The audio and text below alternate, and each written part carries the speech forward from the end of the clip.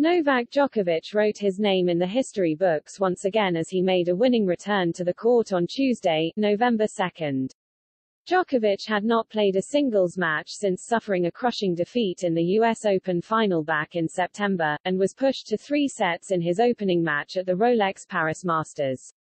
After getting through a tough test, the Serb was able to claim a record from his longtime rival Roger Federer. Djokovic made his highly anticipated return to action on Tuesday, with a three-set victory over Martin Fucsovics in the Paris Masters 1000 second round. The world number one had not played a match in almost two months, since losing the U.S. Open final to Daniil Medvedev. Djokovic was looking to become the first man in 52 years to complete the calendar Grand Slam, and the first male singles player in history to win a record 21st major title, but fell at the final hurdle as the world number two defeated him in straight sets to claim the title. He returned to competition at the Rolex Paris Masters, having skipped the 1,000-point event in Indian Wells last month, and faced world number 40 Fucsovics in his first match since losing the final in Flushing Meadows. The Hungarian pushed the top seed to three sets but was unable to get the better of Djokovic, who needed almost two hours to book his spot in the round of 16 with a 6-2 4-6 6-3 victory. The win also helped the Serb secure a new record previously held by Federer.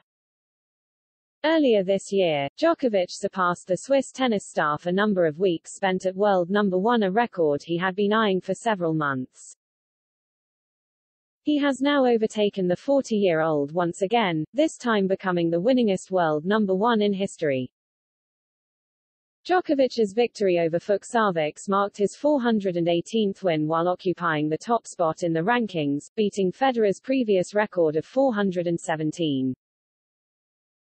The 34-year-old isn't ready to stop there either, as he recently admitted he was eyeing the year-end number one spot for a record seventh time. He is currently tied with one of his idols, Pete Sampras, on six year-end number one finishes, and is looking to break the record at the end of this year by fending off his U.S. Open conqueror Medvedev. The year-end number one is on the line between Medvedev and myself, and I'm in a pretty good position in terms of the ranking points and the race, so that's obviously the goal for the end of the season other than trying to do well in the Davis Cup with the national team, Djokovic said. So hopefully I can have a strong finish of the season and clinch that year-end number one.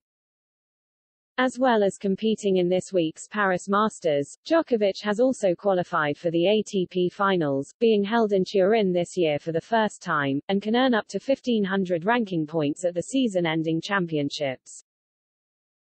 He is also set to represent Team Serbia in the Davis Cup Finals, but could clinch the world number one spot for the end of the year this week in France. There are multiple scenarios that could see Djokovic become year-end number one for a record seventh time this week, all depending on what Medvedev does at the tournament, but the Serb will be able to take matters into his own hands. If he can win the tournament this week, he will become year-end number one no matter what the Russian does.